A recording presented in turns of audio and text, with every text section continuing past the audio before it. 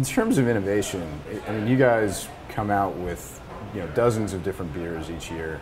How how do you how do you keep that going? You know, how do you keep the freshness of, of the brand going, and how do you keep innovating within the company while growing? It's what we've always done. Yeah. You know, we wouldn't know any other way. Uh, if you told me, well, you can't come out with any new beers for a year, uh, we would like blow a gasket. Um, all of us, all of the brewers at Sam Adams, that's what we do. You know, we're always trying to figure out how to make our beers better and what really cool beers are there that nobody's ever made before. And so we're constantly, you know, reinventing new beer styles because just because somebody's, you know, never aged beer in bourbon barrels before, why not? So we started doing that 20 years ago, and now it's become a very common part of craft brewing is, is barrel aged beers. Do you have um, a strategy for how you pick the, the, different types of beers that you're going to work on and then release, or, or, is it just kind of you know people in the lab just you know it's around? a little bit of both. Yeah. You really can't put fences around creativity. Right. You do have to have good people and give them the time and the resources to you know get their creative juices flowing.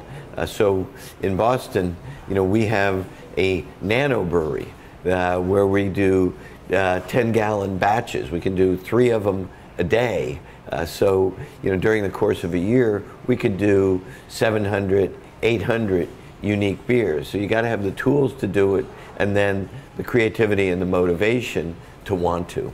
How has Boston Lager changed over the years?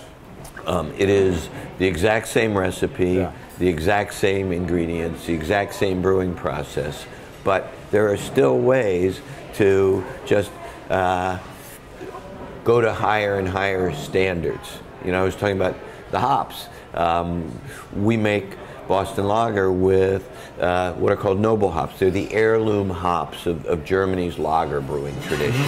And just like uh, grapes, they have terroir issues. They can only be grown sure. in a little area of the world north uh, of Munich. Um, and they've been grown there for centuries.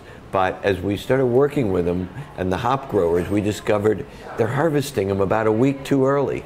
They were harvesting them basically on the visual attributes. Right. Um, and they uh, hit their visual peak about a week before they hit their flavor peak. So they were harvesting like a beauty contest. And I went to the hop growers. I don't care what they look like. I only care how they smell and taste. And if you leave them on the vines an extra week, we'll pay you more money. And don't worry, we'll buy them even though they're not pretty.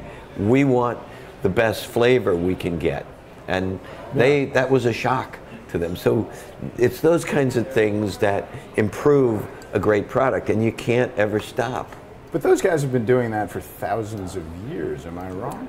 Yeah. Yeah. So you're telling these German, you know, hop growers that they've been doing it wrong for a thousand years. I know. years. It was a shock. Yeah. Um, and it took, you know, it's taken a few years to re-educate them and to convince the German. There's a hop research institute there. We actually did our studies wow. with them. We actually had proof of it from gas chromatographs. You could see uh, the peaks of the key compounds going up uh, day after day as you left them on the field. So yeah, but we're Americans. You know, we build on tradition. Just because they've been doing it for right. a thousand years, like, well, we've been doing this for a thousand years, has yeah. to be right. And I'm thinking, a thousand years and you haven't thought of anything better? Come on, let's go.